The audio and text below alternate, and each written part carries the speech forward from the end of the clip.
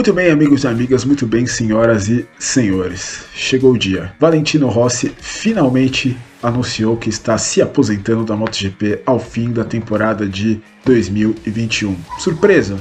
Não, não é uma surpresa, já que a performance do Valentino vinha numa descendente desde 2019, poucos pódios. Na verdade, acho que desde o início de 2019, o Valentino Rossi ele conseguiu apenas três pódios, enfim, três pódios em três temporadas para o Rossi, um piloto do tamanho do Rossi. E na verdade, para qualquer piloto que esteja numa Yamaha, não é o suficiente para você se manter na MotoGP. O Rossi ainda tem o benefício do nome, né? Vamos ser bem sinceros, o Rossi ele não deveria estar correndo nessa temporada depois do que ele fez no ano passado, não mostrou trabalho suficiente para estar na, na MotoGP em 2020 2021 acabou jogando com nome, como a gente diz no futebol, e conseguiu essa vaga. Mas, enfim, um dia esse dia ia chegar e depois de 26 temporadas, depois de 22 temporadas na classe principal da MotoGP, 9 títulos mundiais, 115 vitórias, 65 pole positions, é uma carreira excepcional. Cara que provavelmente é o, o maior piloto em termos de business, é, vai ser, vai continuar sendo o maior piloto, o piloto mais carismático de todos os tempos, que transcende a MotoGP MotoGP, Valentino Rossi, enfim, irá se aposentar no final de 2021. Então, onde estará o Rossi entre os maiores da história da MotoGP? Uma pergunta interessante e essa pergunta que eu vou tentar responder aqui é, nesse videozinho rápido. O Rossi, na minha opinião, ele é o piloto mais importante da história da MotoGP. E aí, quando eu digo eu não estou falando de números, eu estou falando de figura. O Rossi ele trouxe a MotoGP para um patamar que o motociclismo ele não tinha antes do Valentino. Você pode gostar ou não do Rossi, mas assim, ele trouxe à MotoGP um público que antes não assistia ao motociclismo, um público que só ouvia falar, um público que precisava de um herói, e ele foi esse herói. Tanto que hoje, se você sair na rua, em qualquer lugar do mundo, você vai ver em alguma moto, se você for, se você pegar todas as motos de todos os motoboys de todos os lugares do mundo, você vai ver várias motos, vários capacetes com o número 46. Por quê? Por causa da figura do Rossi. Não necessariamente porque o cara é um apaixonado pela MotoGP, mas porque o Rossi, o carisma dele, todo o estilo dele, a, o fato do, dele ser um vitorioso no que ele fez e de dele ter feito isso com muita paixão. Afinal, ele disse até na coletiva em que ele anunciou sua aposentadoria que, que se fosse por ele, ele faria por mais 20 anos o que ele fez é, na MotoGP, que ele continuaria correndo por mais 20 anos o Rossi se tornou uma espécie de catalisador, fez todo mundo se apaixonar por aquilo que ele era apaixonado, né? o motociclismo, as corridas de moto. E é, mesmo antes de chegar na MotoGP, o Rossi já era uma, um, um, piloto bastante fora da curva nesse, nesse aspecto do carisma, né? A gente vai lembrar né, o Grande Prêmio da Espanha de 1999, que foi quando eu, né, na época ainda muito criança, falei, nossa, esse cara é diferente, né? Por quê? Não por uma pilotagem dele, mas pela maneira como ele comemorou uma vitória, né? Essa é aquela corrida clássica que ele ganha e logo em seguida ele desce da moto e vai a um, um, um banheiro público ali, né? Um banheiro ali para os fiscais ali, entra no banheiro lá e tal.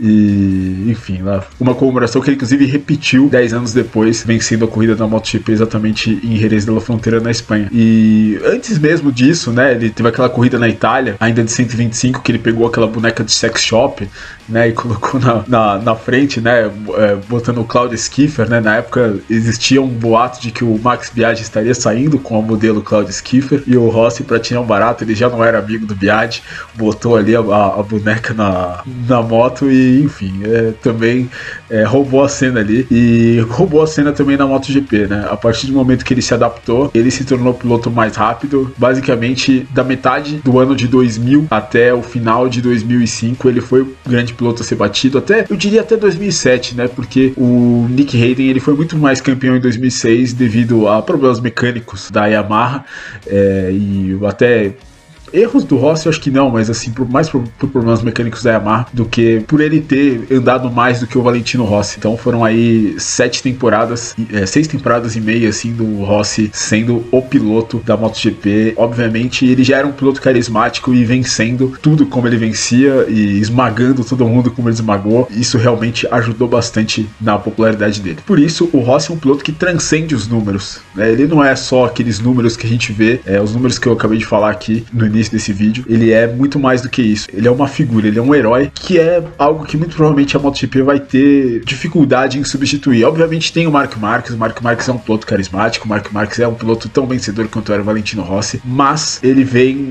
meio que na curva do Rossi, ele vem meio que no caminho que o Rossi já desbravou, e até pelo fato de ter acontecido aquilo em 2015, do Marques ter tirado o título do Valentino aí para muitos, ele não vai ter o mesmo carisma, ele não vai unir todas as tribos como o Valentino Rossi. Imagino que por muito tempo, imagino que o Marques ele não vai ser um piloto muito querido é, na Itália, mesmo talvez daqui 10 anos, assim, as pessoas ainda vão lembrar disso. Obviamente, com o tempo, isso vai dando uma atenuada, mas eu imagino que esse esse, esse sentimento pesado com o Marques para algumas pessoas não vai apagar uma coisa que o Rossi não tem, né, praticamente com ninguém, nesse mesmo sentido do Marques. Dessa maneira, é possível dizer que o efeito do Valentino para a MotoGP é mais ou menos como como o do Senna para a Fórmula 1, um piloto que transcende o esporte, outros esportistas também, o Michael Jordan do basquete, um cara que transcende o basquete, que até hoje vende tênis belíssimos da Nike, ou Muhammad Ali no boxe, ou mesmo o Tiger Woods no, no golfe, enfim, eu não, não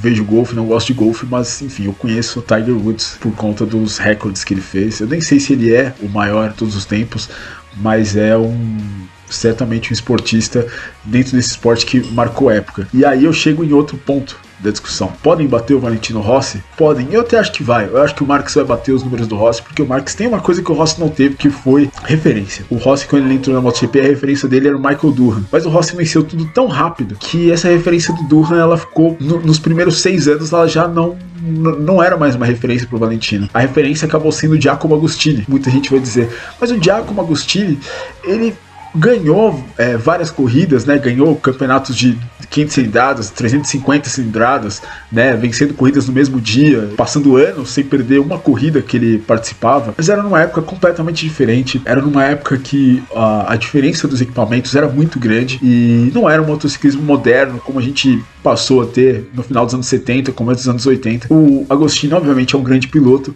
mas as 122 vitórias dele, elas não são tão valiosas como são essas 115 do Rossi, eu diria, e até como são as vitórias do Marques, ou como as vitórias do Lorenzo, ou as próprias vitórias do Stoner, e até do Dani Pedrosa mesmo, que venceu bastante nessa era da MotoGP com, com grandes gênios. Por quê? Porque o Agostinho andava sozinho. Andando sozinho, as coisas ficam mais fáceis para você conseguir esse tipo de número, e o Rossi, ele teve uma grande oposição na carreira dele, a oposição daqueles pilotos que, se você for ver hoje em número de pódios, em número de vitórias, são os maiores pilotos da história. Então, tirando ali um ou outro, talvez ele não andou com Michael Durham, ele não andou com Ed Lawson, não andou com Wayne Rainey, não andou com Kevin Schwantz, mas todos os outros pilotos dessa lista de, de grandes campeões, o Rossi andou e ele derrotou todos eles, o que joga ainda mais brilho para essas conquistas do Valentino Rossi e dá ao Mark Marques uma grande referência para ele seguir é, nesses próximos anos, enfim, conseguir não só o décimo título mundial, como o Rossi acabou não conseguindo, disse que é um dos grandes, que, que talvez o grande desapontamento da carreira dele não tenha sido, tenha sido não conseguir esse décimo título mundial, é, mas enfim, o Marcos poder, pode até ir além e, e, e, passar realmente o número de vitórias do Agostini se ele tiver anos aí, é, como dá a impressão que ele pode ter anos como os que ele teve ali em 2019, 2018, em que ele dominou tudo, 2014 também, que ele dominou tudo. Mas o principal legado do Valentino é certamente a paixão dele pelo motociclismo. É certamente tudo, tudo, que ele fez pela moto, todo, todo o carisma que ele trouxe. E por que a gente fala carisma é, tanto? Por que, que eu bato tanto nessa tecla? Porque ele sempre foi um apaixonado pelo que ele fez, assim ele não precisaria, depois daquela. de tudo que aconteceu na Ducati, do acidente do Simoncelli, é, de, de, ele ter voltado para Yamaha e ter encontrado uma moto mais difícil, um, ter que mudar o estilo de pilotagem, ele não precisaria ter seguido naquela carreira. O Rossi já tinha mais de 30 anos, tinha quase. tinha ali em 2013, tinha 34 anos. Ou seja, estava todo mundo já dando que o Rossi poderia encerrar a carreira ali a qualquer momento. Entretanto, ele surpreendeu todo mundo. E mudou o estilo dele de guiada, começou a treinar, criou a academia de pilotos dele, que tudo bem, revelou grandes pilotos italianos, mas também ajudou o Valentino a, a, a trazer essa gana, essa, é, essa vontade que tem o, o jovem para ele conseguir se superar e conseguir andar junto com os pilotos mais jovens na MotoGP e deu super certo. Rossi, se você for levar em consideração os quatro anos que ele dividiu a Yamaha com o Lorenzo após a Ducati, o Rossi chegou na frente do Lorenzo em duas temporadas, não conseguiu o título, mas o Rossi era um piloto oito anos mais velho do que o Lorenzo, a gente tem que lembrar. Então o que ele conseguiu, e o Lorenzo é um dos maiores pilotos da história. Então o que ele conseguiu é sim digno de muita nota. Obviamente, ganhar dinheiro é importante, mas isso está totalmente em segundo plano para ele e que ele via na MotoGP um, mais um estilo de vida do que simplesmente um, um trabalho. Era a grande paixão dele, a grande paixão é, de criança que virou o trabalho dele e o consagrou e podemos dizer que vai deixar ele imortal pelos números, pelas estatísticas, todo mundo sempre vai lembrar, daqui 100 anos vão lembrar do Valentino Rossi, quem foi esse italiano que, enfim, conquistou o mundo, é, conquistou o coração de várias pessoas e, enfim, como dá pra ver aqui, também conquistou o meu, não, não tem jeito. Você vai ver, número 46, para tudo que é lado, é, para sempre aí, ou por muito tempo, enquanto você andar por aí, enfim, e, e falar de moto velocidade, falar de MotoGP, o piloto mais famoso realmente é Valentino Rossi. Enfim, precisava fazer esse vídeo. Realmente o Valentino é um dos grandes ídolos aí da história do esporte a motor. E é um momento histórico, é um momento que ele está declarando aí a sua aposentadoria. Então não podia passar em branco. Vamos falar mais da aposentadoria do Rossi aí nas próximas semanas, nos próximos dias. Mas por hoje é só. Muito obrigado se você viu até aqui. Um abraço.